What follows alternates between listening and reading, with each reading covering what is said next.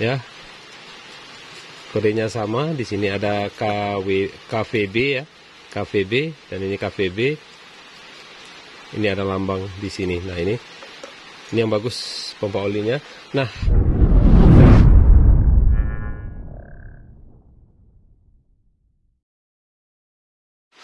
Assalamualaikum warahmatullahi wabarakatuh Kembali bersama saya Mulia Motor Sahabat subscriber di mana pun anda berada Sahabat semuanya Saya doakan dulu sahabat semua. Semoga sahabat semua berada dalam lindungan Allah SWT Semoga sahabat semua disehatkan Dimurahkan rezeki dan dipanjangkan umur. Mudah-mudahan apa yang kita lakukan hari ini Bermanfaat bagi orang lain dan menjadi berkah. Baik sahabat semua Ini vario lama. Vario ini masalahnya Selalu panas e, berlebihan ya. Overhead, overhead terus.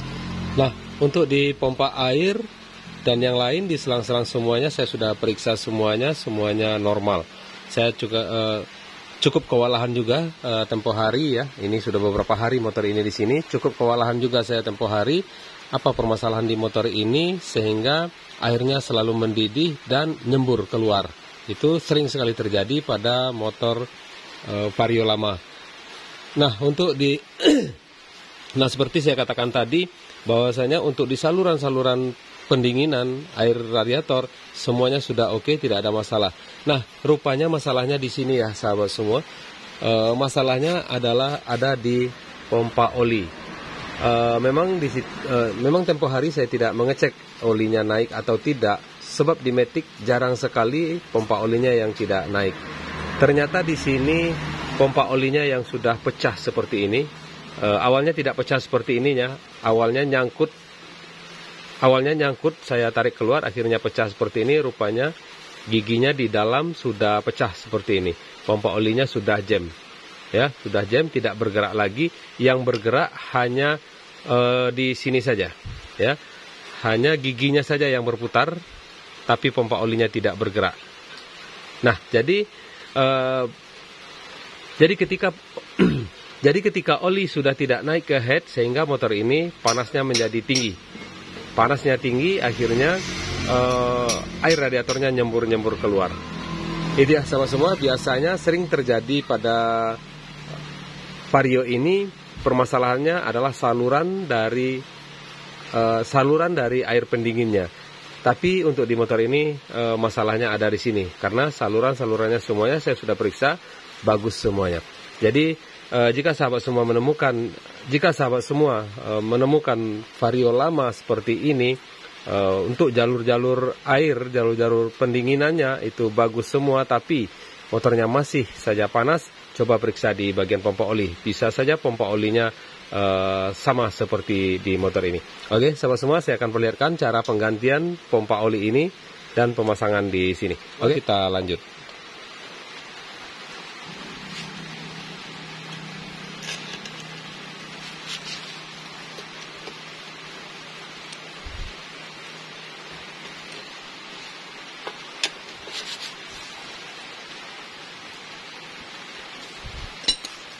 Oke, nah ini pompa olinya yang baru saya sudah beli. Ini yang ori juga ya yang saya beli. Ini terlihat sama di sini. Ya, kodenya sama. Di sini ada KW, KVB ya, KVB dan ini KVB. Ini ada lambang di sini. Nah ini, ini yang bagus pompa olinya. Nah pompa oli sebelum kita pakai seperti ini sebaiknya kita bersihkan dulu ya.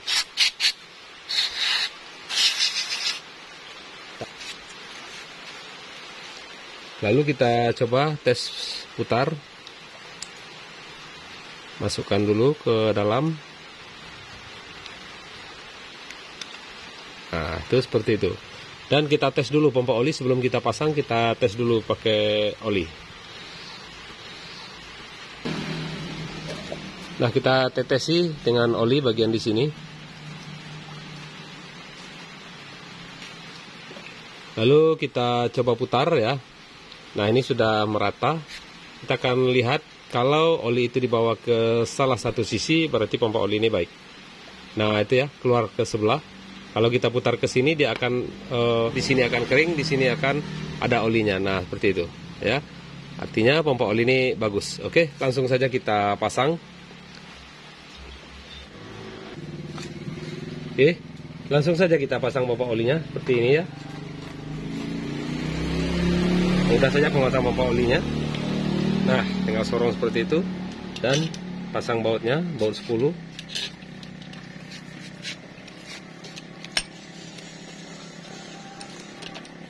Kunci yang kuat.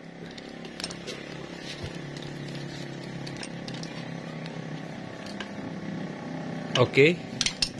Lalu kita paskan dulu uh, gigi di dalam ya paskan agar mudah pemasangan dari uh, gigi di sini nanti. Nah ini kita pasang seperti itu. Dan kita sorong ke dalam.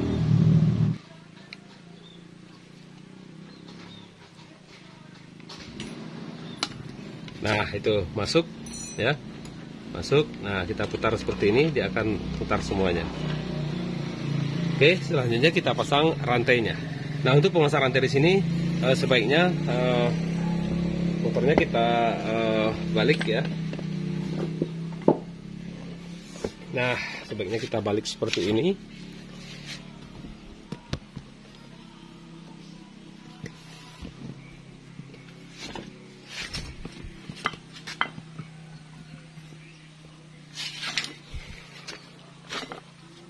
Lalu kita pasang rantainya.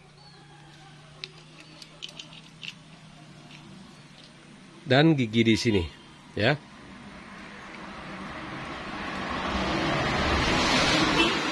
Nah, seperti itu. Kita paskan. Terserah posisinya nanti seperti apa. Yang penting uh, di sini. Yang penting arahkan arahkan tonjolan di sini nanti pas dicoakan di gigi di sini. Ya. Oke.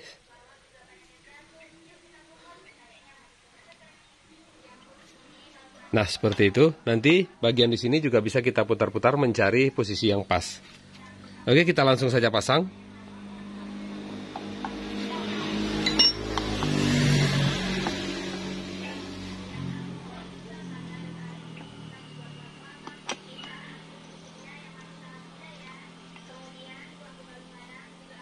dorong ke bawah terus terus nah itu pas jadi di sini bisa kita putar-putar seperti ini nah ya apabila apabila bagian di sini sudah bisa menggerakkan bagian tengah di sini artinya pemasangannya sudah pas oke sahabat semua jadi seperti itu untuk pemasangan pompa oli di sini baik sahabat semua itu saja dari saya. Semoga video ini bermanfaat. Jangan lupa di like dan subscribe. Terima kasih. Assalamualaikum warahmatullahi wabarakatuh.